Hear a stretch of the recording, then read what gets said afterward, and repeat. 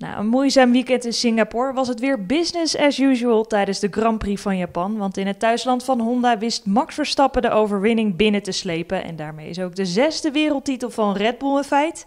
Hoog tijd is om terug te blikken op de race. En vandaag doen we dat met Jeroen Blekemolen. Ja, Jeroen, Max Verstappen zei in Silverstone nog met een lach over de constructeurstitel. Ik kan het op dit moment ook wel alleen. En dat bleek in Japan ook te kloppen. Hoe heb jij de race beleefd? Nou, dat is een mooi statement. Dat, dat, is eigenlijk uniek als je kijkt naar het puntaantal. Uh, misschien als je dat uit gaat zoeken, dat het nog nooit is uh, gelukt bij iemand. Maar inderdaad, hij zou alleen ook uh, teamkampioenschap kunnen winnen. Makkelijk zelfs dit jaar. Dus ja, het, de voorsprong is, is echt bizar groot. Ja, is bizar groot. voor Red Bull draaide de Grand Prix van Japan natuurlijk uit op één groot feest. Hè. Ze hebben de tweede constructeurstitel breed te pakken en de zesde in totaal. Hoe beoordeel jij uh, de wereldtitel van dit jaar nou ten opzichte van die van vorig jaar? Ja, ze zijn nog dominanter geweest. we hebben eigenlijk maar één weekend gezien, uh, Singapore, waar het niet lekker liep. Mm. Uh, wat ook echt een verrassing was, denk ik, voor iedereen. En, en verder gewoon ja, bijna perfect gepresteerd. Gewoon al die wedstrijden gewonnen. Ehm, bijna allemaal door Max. Natuurlijk ook wel Perez, die in het begin van het jaar daarin mee heeft geholpen. Dus uh, nee, ja, uh, ik, volgens mij zei Christian Horner het zelf ook al. Dit is misschien wel uh, de, de meest dominante en de meest bijzondere tot nu toe. Ja. En wat vind jij dan? Is die dan van dit jaar mooier dan vorig jaar, omdat ze nu een nog beter seizoen hebben? Of? Ja, ik denk wel, het is misschien een beetje, we horen wel eens het wordt saai, want uh, we weten altijd al wie er gaat winnen van tevoren. Maar aan de andere kant, als je gewoon naar de, naar de cijfers kijkt, naar de feiten, is het ook wel heel bijzonder wat er gebeurt. Uh, dat, je, dat ze zoveel weten te winnen, dat ze zo dominant kunnen zijn. Dat hebben we natuurlijk eerder gezien met andere teams. Maar records worden verbroken. Dus dat geeft al aan dat het gewoon echt heel knap is dat ze elke week er weer staan. Ja. je zei zelf natuurlijk al, hè, ze hebben een waanzinnig seizoen... waarin ze dan afgezien van uh, Singapore tot nu toe elke race hebben weten te winnen. Wat is volgens jou nou de sleutel tot hun succes dit jaar? Ah, dat is de combinatie Max en het team. Uh, als je, het, ja, ik, zeker de, de, laatste paar wedstrijden. Als je, als je Perez erbij neemt en ziet waar hij staat, ook afgelopen weekend... Uh, ja, dan, dan ga je soms wel eens afvragen, hebben ze wel de beste auto? Hebben ze wel het beste pakket? Uh, maar op de een of andere manier heeft Max het elke week voor elkaar. Uh, en dat is knap, hij heeft geen foutje gemaakt. En, en, en, om elke week die setup voor elkaar te krijgen, om elke week er te staan, ondanks dat het dicht bij elkaar zit. Hè, want het is niet zo dat hij, Japan was misschien een uitzondering, maar dat hij uh, gewoon eventjes een seconde voor de rest staat. Dat is meestal niet zo. Het gaat om honderdste, zeker in de kwalificatie. In de wedstrijd vaak wat meer. Maar ja, nee, dat is echt wel heel knap. En in hoeverre is het dan Max Verstappen en in hoeverre dan de RB19, denk je? Ja, het is echt een combinatie. Het is, het is ook gewoon een teamsport. Um, maar ja, je gaat je steeds meer afvragen als je Max tegenover zijn teamgenoten afzet. Uh, hoeveel, hij, hoeveel invloed hij wel niet zou hebben daarop. En ik vraag me ook wel eens af, uh, zet hem bij Ferrari neer uh, of zet hem bij Mercedes neer, wat er dan gebeurt. Ik denk ook dat hij dit jaar race had gewonnen. dat durf ik eigenlijk wel zeker te zeggen. Dus ja, een groot deel hangt ook wel van hem af, maar het is ook, ze zijn ook gegroeid. Ze zijn natuurlijk al lang samen nu. En het plan was wel echt wereldkampioen worden. Nou, dat zijn ze geworden, maar nu zijn ze alleen maar door aan het groeien qua team. Of als team samen. Dus dat helpt ook wel mee. Ja, maar je zegt dan, hè, zet Max Verstappen in een uh, Ferrari of in een Mercedes. Uh, nou, dan kan hij misschien races winnen, zei je net. Denk je dan ook dat hij dan wereldkampioen had kunnen worden? Of... Ja, dit jaar was gek qua uh, tweede team, omdat de meeste teams uh, niet regelmatig gescoord hebben. Of je nou Aston Martin pakt, wat in het begin erbij zat, of, of een Mercedes of een McLaren, wat, wat in Bahrein nog laatste stond hè, met twee auto's. Die, die rijden nu in één keer weer vooraan. Dus dat hele veld wordt door elkaar gemixt. maar dat is ook het knappe van Red Bull, dat ze elke week er wel staan. Ja, ik weet niet. Ik, ik zie het zomaar dat hij had meegedaan om de wereldtitel. ja, hij rijdt dan natuurlijk niet tegen, tegen zichzelf in een Red Bull. Uh, dan zit er iemand anders in de Red Bull. Dus ik, ik denk dat hij zomaar uh, ook voor de titel had kunnen gaan. Ja. Nou ja, laten we het dan hebben over Max Verstappen. Want op Suzuka pakt hij zijn dertiende overwinning van het seizoen. En uiteindelijk kwam hij met een voorsprong van 19,3 seconden over de streep. Ook klonk via de boordradio nog even dat hij 6 à 17e tekort kwam. Want van tevoren had hij blijkbaar het doel om met 20 seconden voorsprong te winnen. Wat zegt dat volgens jou nou over Verstappen als coureur? Nou, het geeft volgens mij, als je gewoon afgelopen weekend kijkt, maar dat zie je wel de laatste tijd wel meer. In de race is hij zo dominant dat hij niet eens uh, alles geeft. Je moet natuurlijk echt voorzichtig omgaan met de banden, is ook logisch. Het zijn zware auto's, veel vermogen en veel downforce. Dus om daar een band voor te maken die heel blijft, is al lastig. Uh, en dat merken we ook. En, en, ja, die banden, dat bandenmanagement van Max is heel goed, dat, dat weten we. Maar hij heeft ook die ruimte. Hij rijdt een paar seconden los en dan kan hij gaan sparen. Uh, Suzuka, had hij na, ja, je moet ook brandstof sparen, want daar kun je ook een, een rekenmethode op loslaten. Gewicht en hoeveel je verbruikt. En daar had hij ook weer gewoon halverwege de race had hij al genoeg zeg maar, gespaard. Dus ook daar had hij meer kunnen geven. Qua verbruik, motoren, banden. Ja, er zat nog veel meer in, denk ik. Ja. Hoeveel geeft hij dan tijdens zo'n weekend in Japan, denk je? Nou, het, grappige is altijd, het gaat een beetje vanzelf nu bij hem, denk ik. Hij hoeft er niet al te veel over na te denken. Hij doet gewoon wat hij, ja, wat hij, wat hij, wat hij krijgt en wat hij kan doen. op talent. dus ik weet niet als het nou echt zou moeten, of die dan nog veel harder zou kunnen. Maar dat gevoel heb je vaak wel. Want het gaat zo makkelijk. En het is niet makkelijk, maar zo voelt het dan als alles lukt. Voelt het op een gegeven moment ook wel makkelijk. Je rijdt gewoon en je ziet de rest zo langzaam achter je verdwijnen in de spiegel. Ja, dan, dan voel je je zo relaxed. En dan gaat alles relaxed. En dan ga je dus ook goed met die banden om en goed met je, met je hele management van, van de brandstof en dergelijke. Dus dat zie je wel, dat, eh, dat werkt mee. Ja. ja, dat het een optelsom is. Um, sowieso hè, had hij het vanaf eh, de eerste minuut in Japan eigenlijk allemaal onder controle. Hij was in alle trainingen het snelst, pakte dan pole position, snelste raceronde en natuurlijk die overwinning. Wat kenmerkte volgens jou nou zijn weekend in Suzuka? Nou, ik was toch wel weer een beetje verbaasd um, na Singapore. Want eigenlijk, ja, ineens stonden ze er niet. En ze waren ook echt niet goed in Singapore. Uh, hoe, hoe dan ook. En natuurlijk op het einde van de wedstrijd met een nieuwe set banden kwam hij best wel ver naar voren. Maar in het begin op de harde band in Singapore waren ze gewoon echt te langzaam ook. Hoe dan ook. Hij was gewoon niet aanwezig, zeg maar. De snelheid zat er gewoon niet in. Dus ja, en dan in één keer begin je de vrije training op vrijdagochtend en dan staat hij er wel weer. En dit was wel een heel dominant weekend. Dit was uh, echt even terugslaan en laten zien dat zij toch wel gewoon uh, het team zijn met hem. Ja. En waar komt dat verschil, denk je dan, vandaan? Dat ze nu in één keer op Suzuka dan weer zo goed erbij zaten en zo dominant waren, zoals je zelf zegt? Ja, normaal kun je dat natuurlijk wijten aan uh, type weer, type baan. Uh, er was weinig grip sowieso op Singapore. Suzuka is echt een bandenslijtagecircuit, veel snelle bochten. Daar is de Red Bull goed in. Dus dat zijn allemaal factoren die natuurlijk meetellen. Maar als je, ja, ik snap het zelf eigenlijk ook niet dat je het hele jaar zo dominant bent en dan één keer helemaal niet. En dan vervolgens nog dominanter wordt een week later. Want ja, er zitten een paar dagen tussen met dezelfde auto's. Dus voor mij is die ook apart. Uh, omdat het verschil gewoon zo groot is tussen het ene en het andere weekend. Ja. Maar goed, je bent niet de enige. Helmut Marco zei uh, volgens mij ook nog van... nou, we hebben het nog steeds niet helemaal uh, ja, begrepen... wat er nou misging in Singapore. Dus wat dat betreft... Ja, en het is vaker gebeurd. Hè? Mercedes heeft ook zo'n jaar gehad dat ja. ze alles wonnen... en daar in één keer niet. Dus het is gewoon schijnbaar toch een, een apart circuit... waar dingen net even anders gaan dan anders. Is ook logisch. Het is een, een heel uitdagend stratencircuit best wel lang, veel bochten, ja, het weer, hoge luchtvochtigheid. Dus er zijn zoveel factoren die anders zijn dan, ja, dan de meeste Grand Prix. Maar ja, het contrast is wel heel groot. Ja. Voor Verstappen was er in uh, Japan eigenlijk alleen één spannend moment tijdens de race. Uh, namelijk toen hij bij de start onder vuur werd genomen door beide McLaren-coureurs. Wat viel jou nou het meeste op aan zijn start in gevecht met de McLaren's? Nou, hij kwam eigenlijk niet supergoed weg. dat was duidelijk.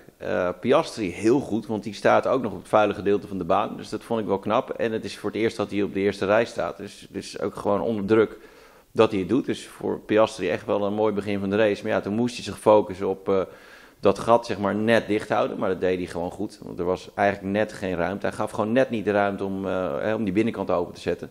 Alleen toen kwam Norris natuurlijk buitenom.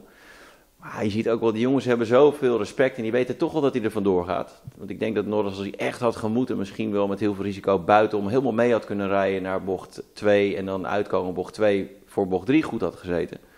Maar volgens mij dacht hij al van nou, weet je, tweede, ik ben mijn teamgenoot voorbij en uh, nu moet ik gewoon die race, ja, die race zo snel mogelijk uitzien te rijden en tweede worden.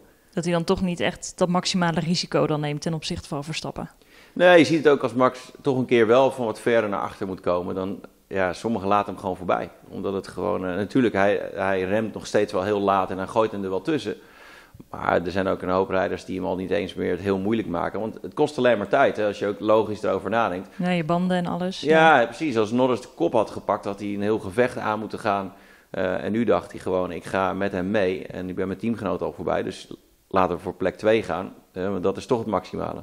Ja, exact. Ehm, in tegenstelling tot het fantastische weekend van Verstappen was het voor zijn teamgenoot Sergio Perez juist eentje om snel te vergeten. Was betrokken bij meerdere incidenten, reed twee keer schade aan zijn voorvleugel en kreeg ook twee keer een tijdstraf. Hoe beoordeel je zijn weekend in Japan? Ja, dit is ook bizar, maar dan de andere kant op. Eh, ik, ik snap er eigenlijk niks van dat het, dat het eh, zo, eh, ja, het zit gewoon echt niet mentaal niet lekker bij hem. en dat is wel iets wat je van tevoren aan had kunnen zien komen. Als je naast Verstappen zit en je komt elke week wat tekort, dan ga je harder je best doen. Dat is met autosport sowieso vaak niet de manier, want dan ga je wat later proberen te remmen of wat harder de bocht in. Maar dat zijn vaak de momenten waarop je juist dingen verkeerd gaat doen. En ik denk dat hij zo hard aan het proberen is, waardoor hij niet meer gewoon vanuit zichzelf aan het rijden is. Wat hij aan het begin van het jaar misschien beter deed. En dan nu gewoon fouten. Ja, ik vond de, aanrijding met Magnus eigenlijk gewoon, uh, als je dat soort dingen ziet, ja, dat zie je misschien in de Formule 4 nog wel eens of in de Formule 3 uh, eh, gebeuren. Maar dat hoort gewoon niet meer in de Formule 1 thuis. Nee, want wat dacht je dan toen je dat incident uh, zag gebeuren? Ja, totaal onzin. Weet je, het is gewoon. het, tuurlijk, hij, maakt gewoon een fout en iedereen mag fouten maken. Dus zo is het ook. Maar het is een, een, de bocht waar het gebeurde, daar rij je niet helemaal binnendoor. Dat is gewoon de snelste lijn.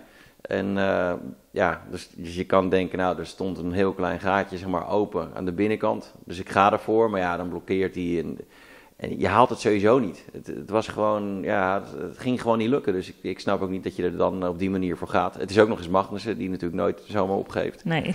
Dus uh, nee, ja, het was gewoon, uh, ja, wat dat betreft, echt heel slecht. Ja.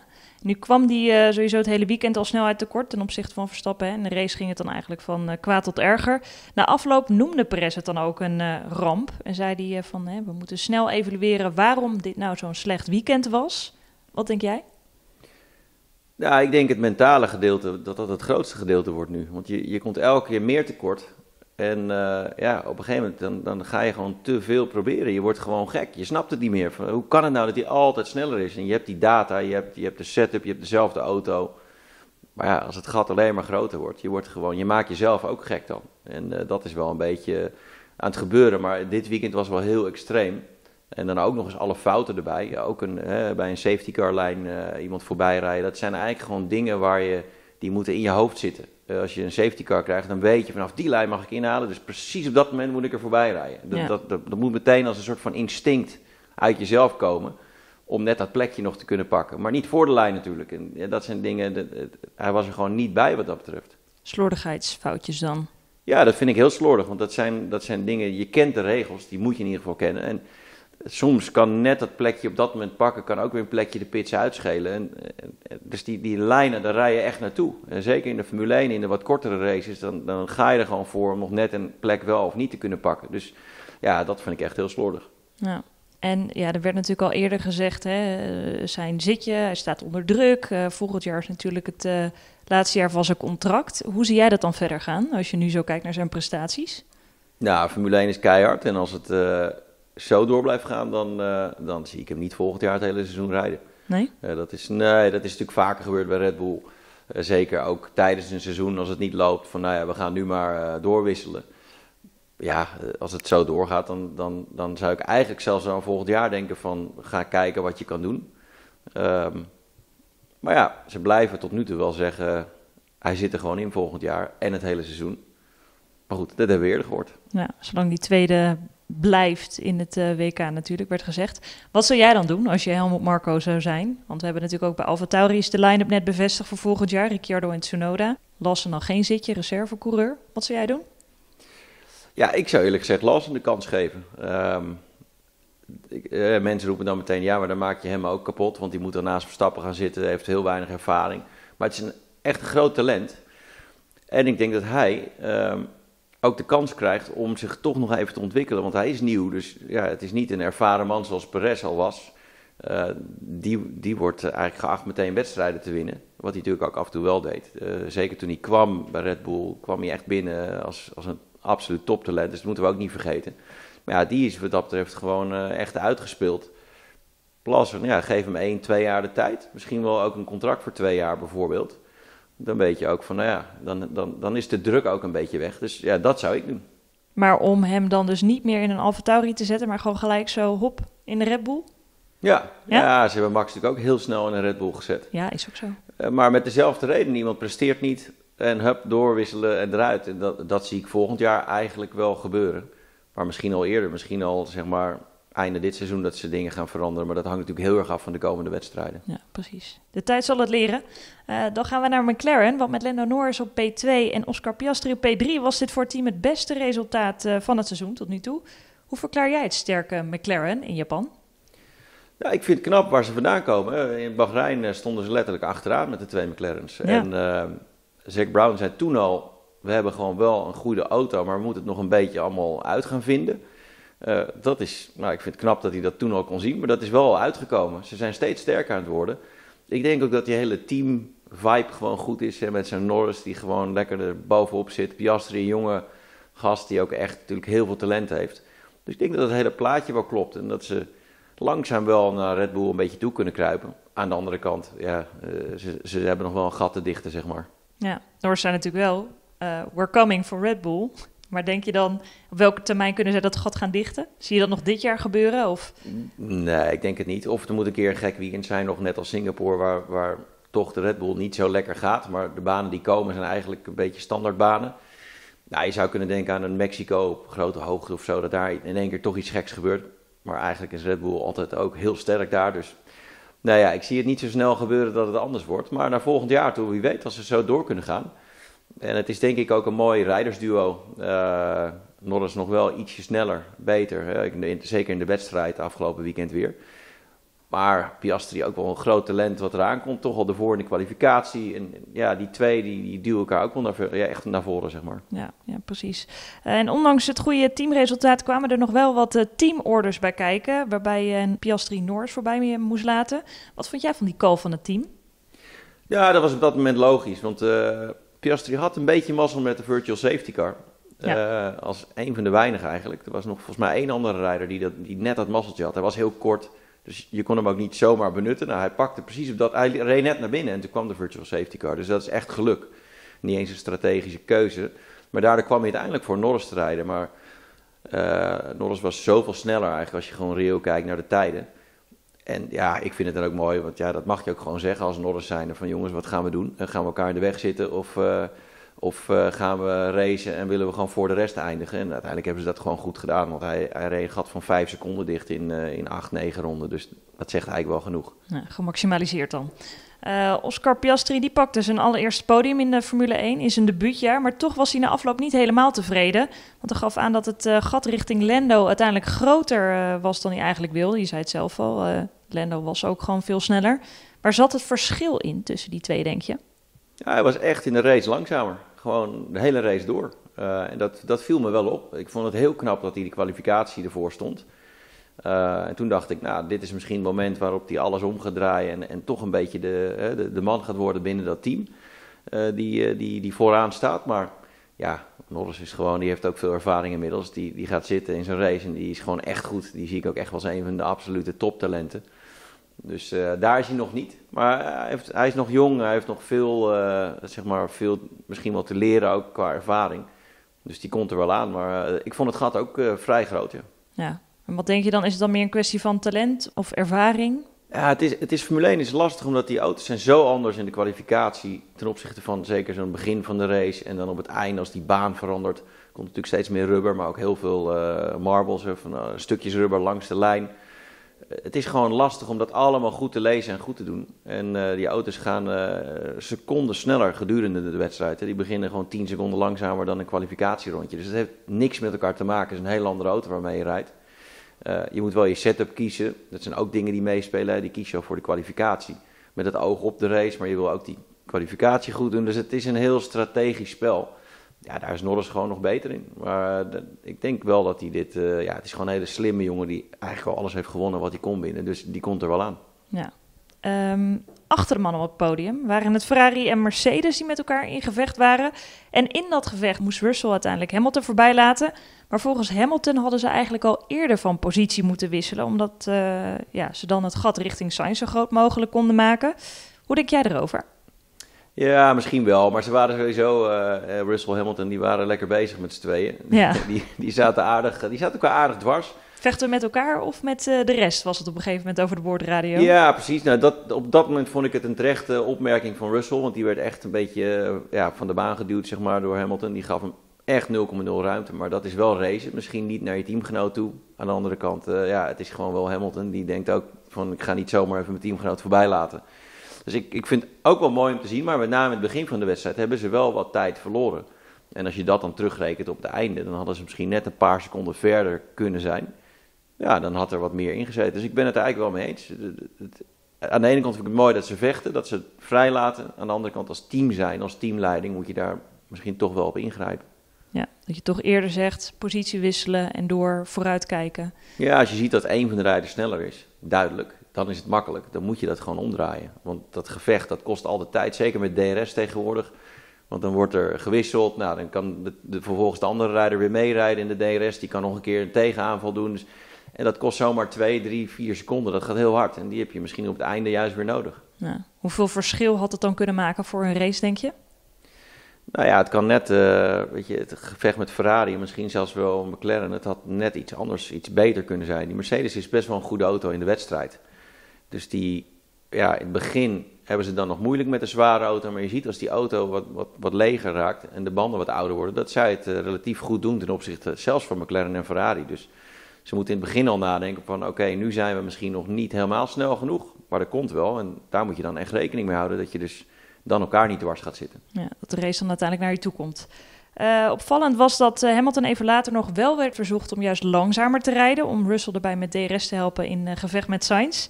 Iets wat volgens Hamilton geen zin had. Uh, hoe kijk jij daarnaar? Ja, daar ben ik het ook wel mee eens eigenlijk met Hamilton. Want uh, het verschil op dat moment was te groot. Uh, Russell had gewoon een heel andere strategie. Eén pitstop gemaakt. Banden waren gewoon op. En Suzuka is echt een bandenkiller wat dat betreft. Ja, dat zeggen we tegenwoordig bijna bij elk circuit volgens mij. Maar dit is wel een van die circuits waar het wat harder gaat dan de gemiddelde baan.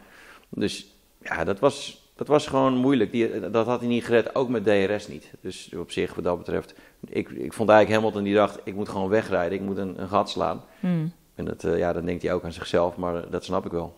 Ja, dus jij wijt dat echt puur dan aan de strategie van Brussel. Dat dat uiteindelijk gewoon geen zin had dan.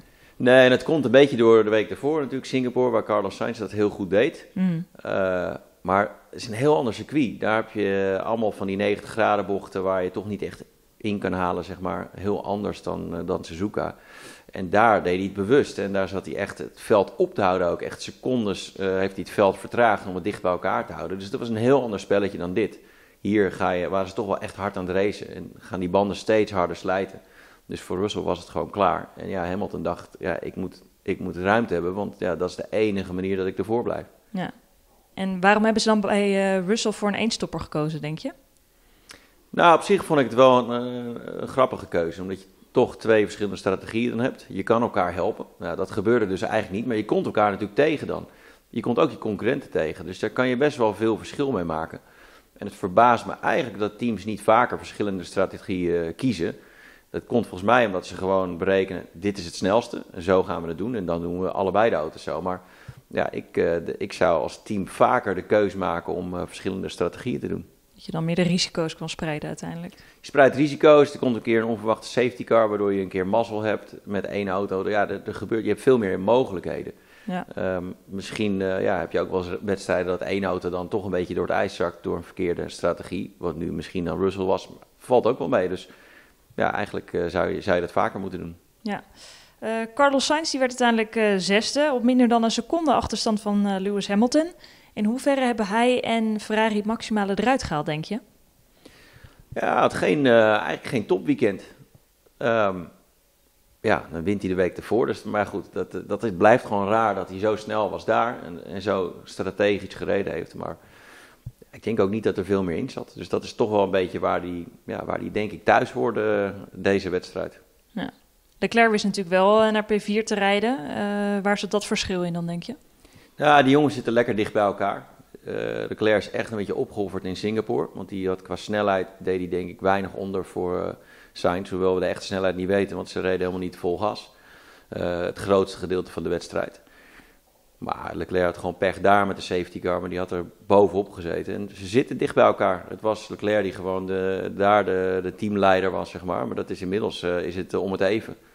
En ja, als, als Sainz dan zo'n wedstrijd wint, dan is hij natuurlijk even, even de held binnen het team. Ja, het mannetje. Maar, ja. Nu zie je wel dat Leclerc ah, ook gewoon natuurlijk echt heel snel is. Die zijn wel aan elkaar gewaagd. Um, dan om af te sluiten. Over twee weken reist de Formule 1 af naar Qatar. De plek waar Max Verstappen op de zaterdag al wereldkampioen uh, kan worden. Wat zijn jouw verwachtingen voor dat weekend? Ja, nou, hij zal die titel wel gaan pakken daar natuurlijk. Uh, of hij moet echt pech hebben. Maar uh, natuurlijk sprintrace, hoofdrace, veel punten te verdelen. Uh, ja, als je gewoon gaat rekenen, dan is dit wel een hele logische. Um, ja, ik verwacht ook niet dat de, dat de volgorde in één keer heel anders is. Hij, hij, ja, ze kennen het circuit al. Ze, ze zijn daar in het verleden ook al snel geweest. Het is ook een vrij snel circuit. Dus ja, niet helemaal Suzuka, maar toch wel, ook wel, wel weer een beetje. Dus nou, dat, dat moet gewoon goed komen. Ja, en achter Red Bull dan, waar kijk je dan meeste naar uit of waar hoop je op? Ja, dat is dus het mooie nu, want nu is in één keer McLaren weer, uh, die staan er. Ja. Maar als Ferrari het voor elkaar heeft, of Mercedes, die, zitten, die drie zitten zo dicht bij elkaar nu. En, en die rijders ook allemaal. Dus dat maakt het wel uh, een mooi gevecht. En dan krijg je dus inderdaad dat ze elkaar ook dwars gaan zitten. Dat ze elkaar ook uh, ja, toch een beetje van de baan rijden. Maar wel met respect. En dan zie je ook dat dit allemaal gewoon hele goede autocoureurs zijn. Die uh, natuurlijk een Hamilton die even naar buiten laat lopen naar een Russell.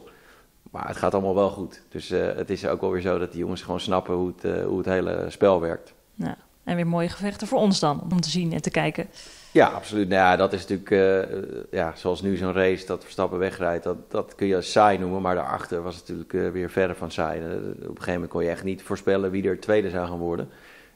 tot en met 6, 7. Ja. En als je dan een voorspelling moet doen voor Qatar, wat denk je?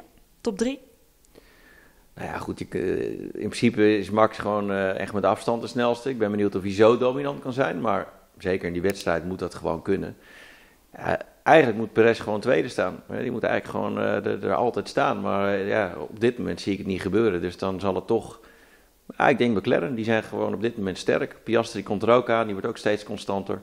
Dus uh, ja, die hebben het op dit moment gewoon goed voor elkaar. Maar ja, als ze het net niet helemaal voor elkaar hebben... dan heb je Mercedes en Ferrari die er staan. Maar ja, dan zou ik toch zeggen... hetzelfde als deze uitslag bijna. Max en dan Lando en dan nou, Piastri. Oké, we gaan het zien. Dankjewel Jeroen en heel graag tot de volgende.